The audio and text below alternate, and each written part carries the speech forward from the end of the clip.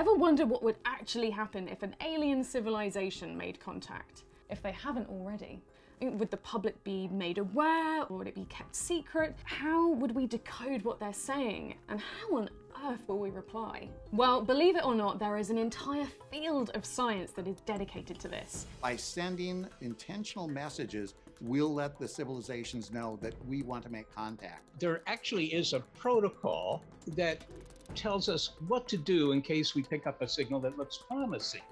It's time to explore the unexplored. Seth Shostak is a senior astronomer at SETI, the rather cunningly named Search for Extraterrestrial Intelligence Institute. For decades, the Institute has been leading the way in actively searching for extraterrestrial signals, in the hopes of making the first contact with ET. Most people, when they think of looking for intelligent life, they have some scenario kind of like in Star Trek, right? You get to a fancy rocket and you just, you know, rocket off to some other world and look for it. We simply can't do that. But what you can do is maybe find the aliens at home by eavesdropping on their radio waves, or maybe they have flashing lasers. If alien civilizations are anything like us, then they'll emit plenty of signals all the time. Radio, television, microwaves. All we need to do is just eavesdrop on one of these signals, and then boom, we've got contact.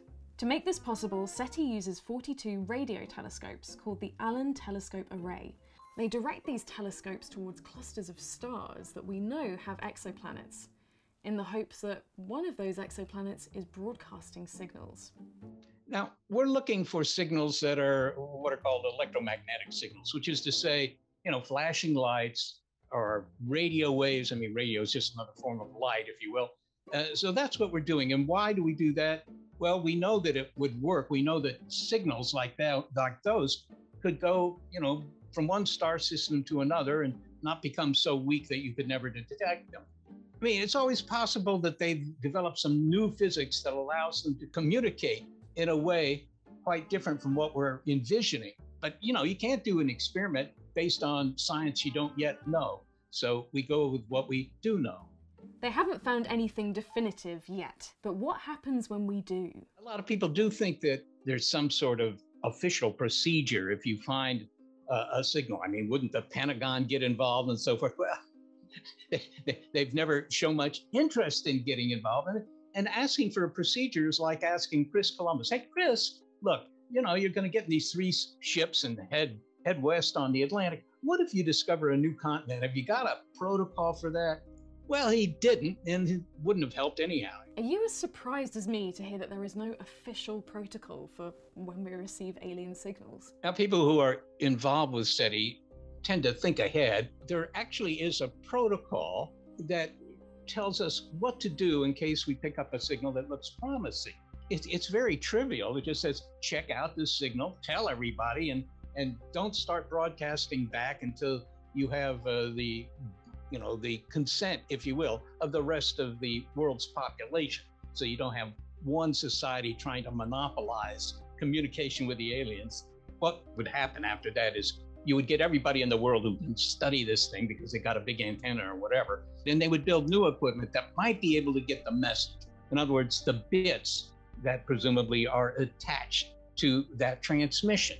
And once you have those, now you have, you know, the equivalent of the hieroglyphics, and now you try and figure out what they might mean. Bear in mind, these might not be intentional messages. We could be picking up their equivalent radio and TV transmissions that have just stumbled into our radio telescope.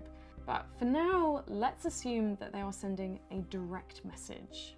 What happens next? What if we decide to talk back? You know, how will we encode that? Will we send them stuff in colloquial American English? some a language they always seem to understand in the movies, or, or what else? You know, it, probably it's better just to send lots and lots of information. I would just send them the internet myself.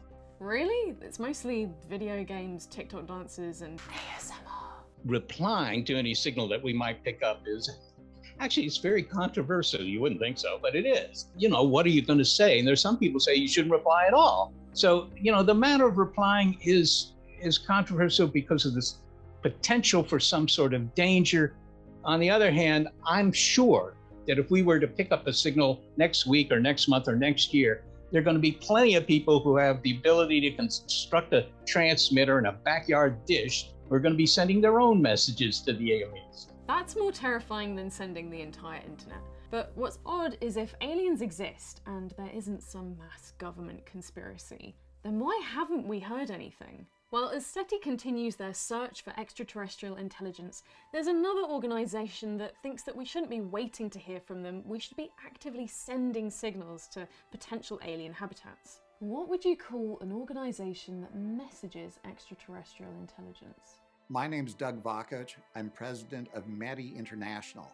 For over 60 years, SETI scientists have been searching for signals from other civilizations.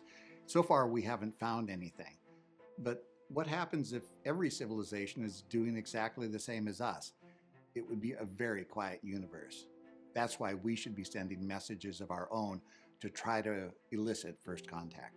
I'm at a scientific facility far north of the Arctic Circle called EISCAT, an organization that sends radar signals into the sky to understand the composition of our upper atmosphere.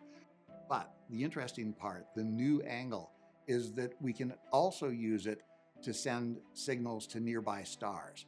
One of our prime targets is the nearest star to Earth, Proxima Centauri, which is orbited by a planet in the habitable zone. We're sending signals that communicate some core ideas of science like chemistry, the periodic table of elements, something that we and the aliens have in common. By sending intentional messages, we'll let the civilizations know that we want to make contact. And in some cases, that may just be what's required to get a response. Whether you think we should just wait and listen or actively send messages out into the expanse of space, the search is well and truly on. We haven't yet found evidence of life outside the Earth, let alone intelligent life, but scientists do believe that there is life out there. And remember, these signals can take a really long time to transmit. In the best case scenario, we could send a message and get a reply in just eight years. That's how long it would take to communicate with the nearest star to Earth. More realistically, it could take centuries, even millennia to communicate. So this is an inherently multi-generational project. So there may well be another planet a thousand light years away whose messages are hurtling towards us. And it could be any day now that we finally hear from them. Or maybe they're just watching, listening biding their time. Or if they're anything like us at all, they've been meaning to message us back. And they will, just after one more scroll.